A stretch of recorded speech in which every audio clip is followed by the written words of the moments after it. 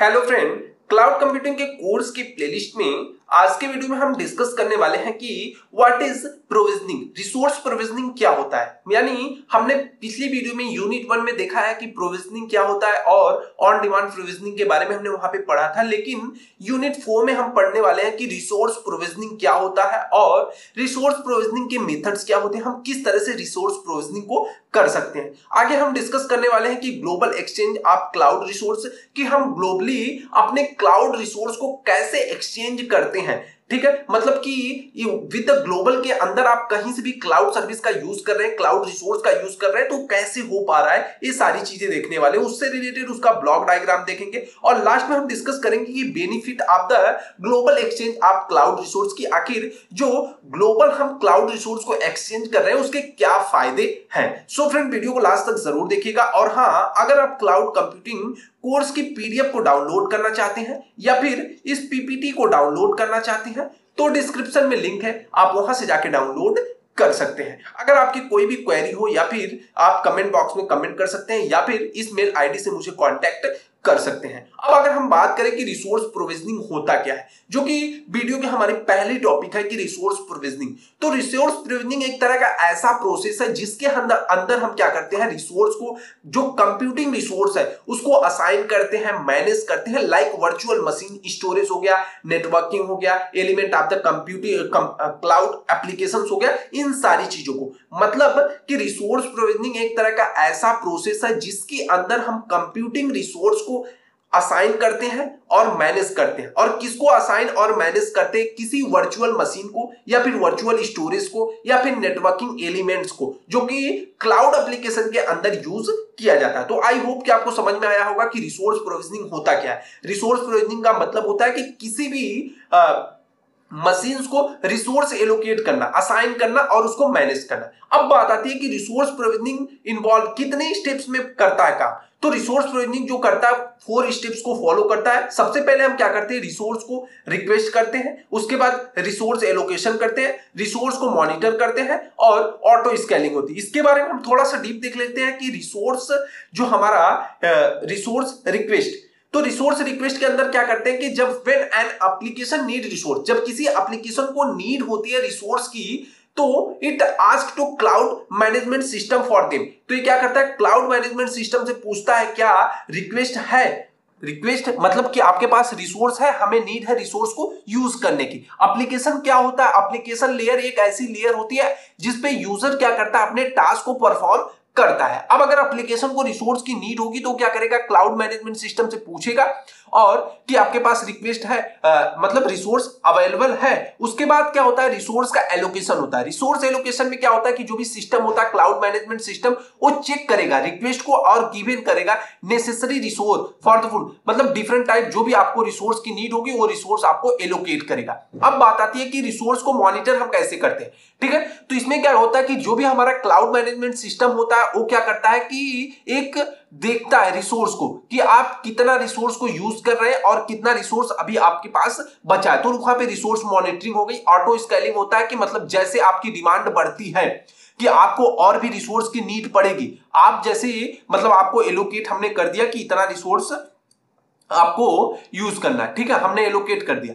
अब अगर आप इस रिसोर्स को यूज़ कर रहे हैं और ये रिसोर्स मॉनिटरिंग के थ्रू मॉनिटर किया जाता है कि आपने कितना रिसोर्स को यूज़ किया और कितना रिसोर्स बचा है। और जैसे ही यहाँ पे पता चलता है कि नहीं, आप रिसोर्स पूरा यूज़ कर लिए, आपको और नीड है रिसोर्स की तो वहाँ पे क्या होता है कि रिसोर्स ऑटोमेटिक स्केल हो जाता है। तो कह रहा है कि when demand demand changes the system can automatically adjust the resource to the match it तो रिसोर्स क्या करता है कि ऑटोमेटिक स्केल हो जाता है। अब बात आती है एग्जाम्पल्स की। अगर हम एग्जाम्पल्स की बात करें कि रिसोर्स प्रोविजनिंग की तो सबसे पहले अगर हम बात करें कि कोई सोशल मीडिया प्लेटफॉर्म है तो सोशल मीडिया प्लेटफॉर्म जैसे हम जस्ट लाइक ले सकते हैं। फेसबुक है इंस्टाग्राम है ट्विटर है, बहुत सारे एप्लीकेशन है। तो उसमें हम क्या कर सकते हैं? उसमें जो ट्रैफ़िक होती है ड्यूरिंग पीक आवर्स होती है। जैसे अगर हम बात कर ले वीकेंड्स होता है या फिर इवनिंग टाइम होता है तो वहाँ पे क्या होता है कि ट्रैफ़िक सबसे ज़्यादा होता है। तो उस समय क्या होता है कि जो भी डेटा होता है सिस्टम का तो उसको क्या होता है कि ज़्यादा से ज़्यादा, जब नंबर ऑफ़ यूज़र्स ज़्यादा आएँगे तो आपको रिसोर्स की ज़रूरत भी ज़्यादा पड़ेगी। तो वहाँ पे क्या होता है कि रिसोर्स प्रोविजनिंग का यूज़ किया जाता है, जो कि ऑटोमेटिक क्या कर देता है कि ऑटोमेटिक रिसोर्स को स्केल कर देता है। मतलब एक्स्ट्रा जब नंबर ऑफ़ यूज़र्स ज़्यादा आते हैं, जैसे वीकेंड्स हो गया या फिर इवनिंग टाइम हो गया, जो पीक टाइम होती है मतलब ऐसा टाइम जहाँ पे यूज़र्स ज़्यादा सोशल मीडिया का यूज़ करता है। ठीक है? तो वहाँ पे क्या करता है कि automatic extra virtual machine allocate हो जाती है more storage and network capacity के साथ। तो यहाँ पे क्या कर रहा है कि जो भी ऑटोमेटिक डिप्लॉय हो जाती है extra virtual machine and allocate हो जाता है more storage and network capacity during जब ऑफ़ होता है पीक टाइम मतलब जब पीक हावर्स क्या होता है ऑफ़ होता है तो ऑटोमेटिक स्केल डाउन हो जाता है। मतलब सारे जो भी रिसोर्स एलोकेट थे मशीन थी, वो क्या हो जाती है ऑटोमेटिक अपनी जगह पे आ जाती है। मतलब जितना यूज़ होता है, उतना यूज़ होता है। जिससे क्या होता है कि रिसोर्स का वेस्टेज नहीं होता, हम उसको प्रिवेंट कर लेते हैं। अब बात करता है कि डायग्राम डायग्राम में अगर हम बात करें तो कह रहा है कि जो भी रिसोर्स प्रोविजनिंग लेयर होती है, वो मैनेज करती है रिसोर्स पूल को। ठीक है? अब यहाँ देखो रिसोर्स प्रोविजनिंग हो गई रिसोर्स पूल हो गया। रिसोर्स पूल के अंदर हमारा क्या आ जाएगा? वीएम आ गया, यानी वर्चुअल मशीन हो गई। वर्चुअल मशीन को हम स्टोरेज है नेटवर्क है। ये सारी चीज़ें हम क्या करते हैं? रिसोर्स प्रोविजनिंग किसी भी एप्लीकेशन को प्रोवाइड करने का काम करते हैं। यहाँ पे क्या होता है कि जो भी डायनेमिक चीज़ें होती है एलोकेट होता है resource based on application need and policy तो एप्लीकेशन की नीड क्या है? उस हिसाब से हम क्या करते हैं कि सारी चीज़ों को एलोकेट करते हैं। जैसे हमारा virtual machine storage network resource इन सारी चीज़ों को एलोकेट करने का काम करते हैं। एडजस्ट करते हैं रिसोर्स को एलोकेशन एंड रिस्पॉन्स करते हैं चेंजिंग डायमेंड डिमांड कि क्या आखिर तुम्हारा डिमांड है, उस हिसाब से हम क्या करते हैं? रिसोर्स को एलोकेट करने का काम करते हैं। अब बात आती है कि रिसोर्स प्रोविजनिंग के मेथड्स क्या होते हैं। ठीक है? रिसोर्स प्रोविजनिंग को हम किस तरह से तो बहुत सारे सर्वरल मेथड है, जिसके बारे में यहाँ पे कुछ कॉमन मेथड्स के बारे में दे रखा है कि मैनुअल प्रोविजनिंग हो गया स्क्रिप्ट बेस्ड प्रोविजनिंग है टेम्पलेट बेस्ड प्रोविजनिंग है ऑटो स्केलिंग प्रोविजनिंग है, और पॉलिसी बेस्ड प्रोविजनिंग है डायनेमिक प्रोविजनिंग तो इनके बारे में देख लेते हैं कि जो भी प्रोविजनिंग है कॉमन टाइप्स की रिसोर्स प्रोविजनिंग उसके बारे में क्या कहना है। तो अगर बात करें सबसे पहले मैनुअल प्रोविजनिंग की। मैनुअल प्रोविजनिंग क्या होती है कि जब पीपल किसी रिसोर्स को मैनुअली असाइन करता है based on what the application need कि एप्लीकेशन की नीड क्या है और हमने मैनुअली उस चीज़ को ले लिया। ठीक है? जैसे सपोज़ दैट अगर हम बात करें किसी एग्ज़ाम्पल की, आप मार्केट में गए, आपको किसी चीज़ की नीड है। सपोज़ दैट आप घर में कोई काम करवा रहे हैं तो आपको नीड है, आप खुद उस टास्क को परफॉर्म करना चाहते हैं तो आपको मैनुअली आपने क्या किया? इतना चीज़ हमें दे दो, ठीक है? दुकानदार से आपने बोला कि मुझे इतना नंबर ऑफ़ पीस इतनी चीज़ें दे दो। तो वहाँ पे क्या होगा कि मैनुअल जब रिसोर्स क्या होता है कि मैनुअली असाइन किया जाता है कि आपके एप्लीकेशन की नीड क्या है तो उसे मैनुअल प्रोविजनिंग बोलते हैं। अब स्क्रिप्ट बेस्ड प्रोविजनिंग क्या होता है? यहाँ पे क्या होता है कि जो भी script are use to automated and process and assign resource in the specific way यहाँ पे क्या होता है कि एक पहले से स्क्रिप्ट बेस्ड बनी होती है कि आपको जब रिसोर्स की नीड होगी तो हम इतना रिसोर्स आपको एलोकेट कर देंगे। मतलब सारी चीज़ें पहले से स्क्रिप्ट में बना के रखी होती हैं कि अगर आपको रिसोर्स की नीड पड़ेगी तो हम आपको ये चीज़ पकड़ा देंगे। ठीक है, उसके बाद टेम्पलेट बेस्ड प्रोविजनिंग होती है। टेम्पलेट बेस्ड प्रोविजनिंग के अंदर क्या होता है कि प्री डिफाइंड टेम्पलेट्स होते हैं और इमेजेस होते हैं जो यूज़ किए जाते हैं क्विकली क्रिएट स्टैंडर्ड रिसोर्स ठीक है? मतलब ऐसे टेम्पलेट पहले से बना के रखे गए होते हैं, जिसमें आप क्या कर सकते हैं, उसको डायरेक्ट क्विकली स्टैंडर्ड रिसोर्स को क्या कर सकते हैं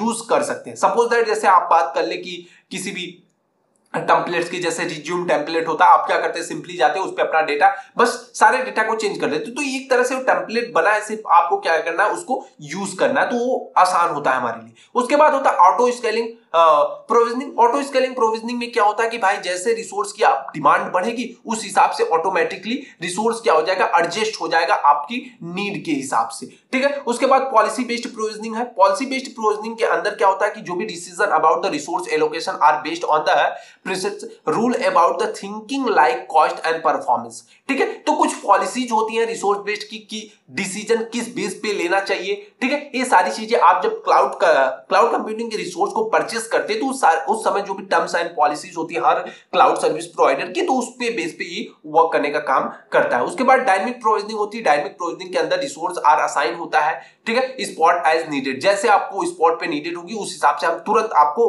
रिसोर्स एलोकेट करेंगे। Which is helpful for the thing things like app that's don't need to lot of resource all time जिस ऐप भाई, कुछ तरह के ऐसे ऐप होते हैं जिनको हर टाइम क्या होती है कि बहुत ज़्यादा रिसोर्स की नीड नहीं होती है तो वो क्या करते हैं? डायनेमिक प्रोविजनिंग का यूज़ करते हैं। मतलब जैसे हमें ज़रूरत पड़ेगी हम वैसे तुमसे रिसोर्स मांग लेंगे और उस उस रिसोर्स को यूज़ कर लेंगे। और जैसे काम खत्म, उस रिसोर्स को हम क्या करेंगे? छोड़ देंगे। ठीक है? तो ये सारी चीज़ों को। अब बात आती है global exchange of cloud resource कि हम जो क्लाउड रिसोर्स है, उसको ग्लोबली कैसे एक्सचेंज करते हैं? मतलब एक जो भी हमारी सर्विस है क्लाउड सर्विस है, इसको ग्लोबल वाया ग्लोबल हम एक्सेस कर सकते हैं। तो कैसे एक्सेस कर सकते हैं? तो जो कह रहा है कि global access cloud resource mean the connecting different cloud providers together इसका मतलब होता है कि जो भी cloud exchange of the cloud resource है, इसका मतलब है कि हम डिफरेंट तरह के क्लाउड प्रोवाइडर को एक साथ जोड़ने का काम कर रहे हैं और जो क्या करेंगे, अपने रिसोर्स को शेयर करेंगे और एक साथ काम करेंगे। जैसे इसमें कुछ की कॉन्सेप्ट है, जैसे federation data mobility application probability और इंटो ऑपरेबिलिटी है। ठीक है? तो ये सारी चीज़ें, इनके बारे में हम देख लेते हैं, जैसे फ्रीडेशन में क्या होगा कि cloud provide link up to the share resource while still having their own rules जो कि फ्रीडेशन के अंदर क्या होता है कि हमने अभी पिछली वीडियो में देखा था कि इसमें क्या होता है कि मल्टीपल क्लाउड सर्विस प्रोवाइडर क्या होते हैं कि एक साथ मिलके अपने रिसोर्स को एक इंटर क्लाउड रिसोर्स पे शेयर करते हैं। ठीक है? तो वहाँ से क्या करते हैं कि एक दूसरे से दूसरे से जुड़े होते हैं। जितने भी क्लाउड आप प्रोवाइडर्स होते हैं, एक दूसरे के साथ जुड़े होते हैं, अपने रिसोर्स को शेयर करते हैं। ठीक है? दियर ओन रूल्स जो भी उनका रूल्स हो, उनके रूल्स के हिसाब से। उसके बाद इंटर ऑपरेबिलिटी की बात करें तो क्लाउड कैन वर्क टुगेदर ठीक है, जो क्लाउड करता है वर्क करता है together because they can understand each other system अब भाई, इसके अंदर क्या होती है कि क्लाउड एक दूसरे के साथ तो काम करता है, लेकिन ये एक दूसरे के सिस्टम को भी समझता है कि कौन सा सिस्टम किस तरह से परफॉर्म कर रहा है। दूसरे जो भी क्लाउड सर्विस प्रोवाइडर होते हैं, उनकी चीज़ों को समझता है। डेटा मोबिलिटी का मतलब data can move easily between the different cloud without any issue अब डेटा क्या होता है कि एक क्लाउड से दूसरे क्लाउड में आसानी से स्विफ्ट हो जाता है मतलब स्विच हो जाता है बिना किसी दिक्कत के। ये चीज़ हो गई। एप्लीकेशन पोर्टेबिलिटी की अगर हम बात करें तो यहाँ पे क्या करें कि application can work on any of the connected cloud without अब जो हमारा एप्लीकेशन है, ठीक है, जिस सर्विस का हम यूज़ कर रहे हैं, वो मैटर नहीं करता कि किस क्लाउड से जुड़ा है, ठीक है? मैटर नहीं करता कि जो भी क्लाउड होते हैं, सारे क्लाउड आपस में इंटरकनेक्टेड होते हैं। ठीक है?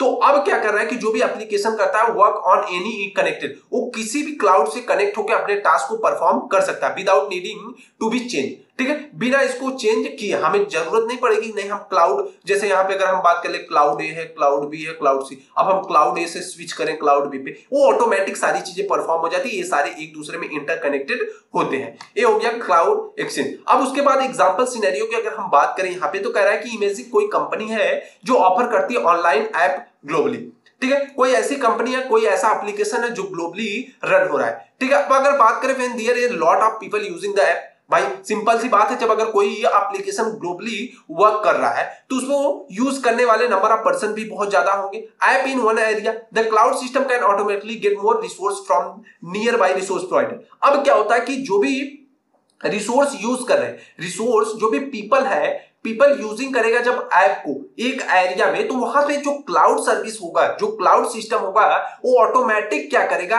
गेट कर लेगा more resource from the nearby cloud service provider जो भी क्लाउड सर्विस प्रोवाइडर पास में होगा, वहाँ से क्या करेगा? वो ज़्यादा से ज़्यादा रिसोर्स को ले लेगा और हैंडल करेगा एक्स्ट्रा वर्क को, जो भी वर्क होगा। They help the keep the app running well ठीक है? ऐप आसानी से रन हो सके। और भी जो people using the kept cost down and company suppose that अगर हम बात करें कि जैसे कोई कंपनी एप्लीकेशन मान लो व्हाट्सएप है व्हाट्सएप ग्लोबली यूज़ किया जाता है। अब अगर कोई ऐसा पर्सन है जो, ठीक है कहीं अदर लोकेशन यूज़ कर रहा है तो ज़रूरी नहीं है कि अगर हम इंडिया के हैं तो इंडिया के ही क्लाउड सर्विस प्रोवाइडर का यूज़ करें। अगर हम जाके यूएसए में इसका यूज़ कर रहे हैं तो यूएसए से जो नियरेस्ट है, वहाँ का क्लाउड सर्विस प्रोवाइडर होगा, वो डेटा जो फेच करने का काम करेगा, वहाँ से डेटा को लेगा, ठीक है? और हमारे चीज़ों को बैलेंस करने का काम करेगा। अब डायग्राम की अगर हम बात करें यहाँ पे तो जो भी cloud global cloud exchange link होता है मल्टीपल क्लाउड प्रोवाइडर जैसे यहाँ पे अगर हम बात करें एप्लीकेशन होते हैं एप्लीकेशन किससे जुड़ा होता है? Cloud provider one two three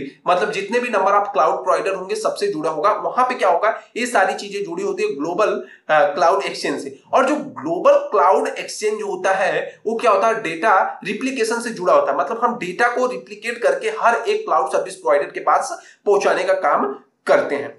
ठीक है? आई होप कि आपको समझ में आया होगा। अब अगर हम बात करें कि बेनिफिट्स आखिर क्या फ़ायदा है इसको यूज़ करने की? जो ग्लोबल एक्सचेंज आप क्लाउड रिसोर्स है इसकी क्या फ़ायदा है? तो बेटर सेफ्टी एंड बैकअप मिल जाता है। बेटर सेफ्टी एंड बैकअप का मतलब जो डेटा रिप्लीकेट होता है। ठीक है? अब अगर आपका डेटा इन बाई केस ठीक है?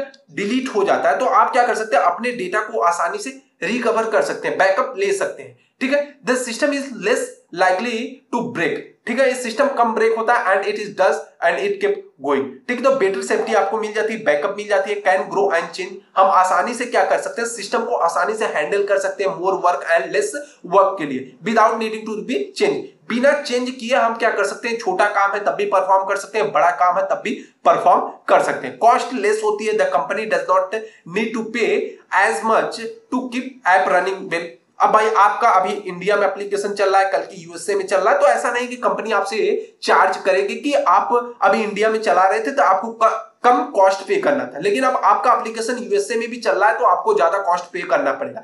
कॉस्ट आपको उसी चीज़ का पे करने पड़ेगा, जितना आप रिसोर्स का यूज़ करेंगे। मतलब जितना आप रिसोर्स का यूज़ करेंगे, उतना आपको पेमेंट करना पड़ेगा। ऐसा नहीं है लोकेशन के बेस पे ग्लोबल एक्सचेंज से कोई मैटर नहीं करता। उसके बाद वर्क फास्टर फॉर पीपल भाई सिंपल सी बात है कि वर्क फास्टर ज़्यादा तेज हो जाएगा। तेज कैसे हो जाएगा कि आप अभी इस लोकेशन पे यूज़ करें इस लोकेशन पे तो हर एक लोकेशन पे क्या है कि क्लाउड सर्विस अवेलेबल है।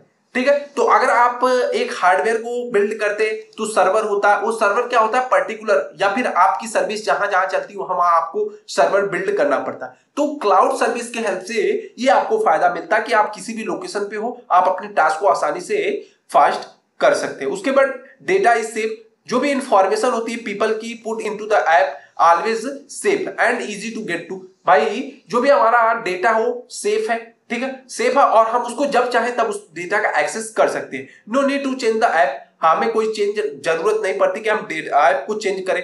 The app can work on any of the connected cloud without needing to change तो भाई, जो ऐप है, वो किसी भी क्लाउड के साथ, ठीक है? स्विच हो जाएगा। जिसकी ज़रूरत जो भी नियरेस्ट लोकेशन होगा, उस पर स्विच होके काम करेगा। लेकिन हमें इसको ज़रूरत नहीं पड़ेगी कि हम अपने टास्क को परफॉर्म करने के लिए हम क्लाउड को चेंज करें।